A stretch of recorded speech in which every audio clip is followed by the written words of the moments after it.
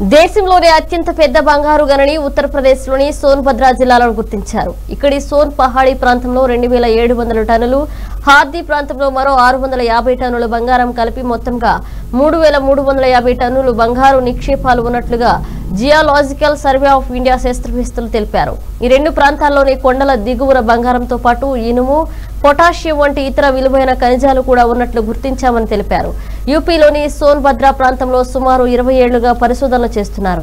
తాజాగా ఆ ప్రాంతంలో బంగారం నిక్షేపాలు ఉన్నట్లు నిర్ధారించారు. దీనిని సంబంధించి ఉత్తరప్రదేశ్ సర్కార్ ఏడుగురు సభ్యులతో కూడిన కమిటీని నియమించింది.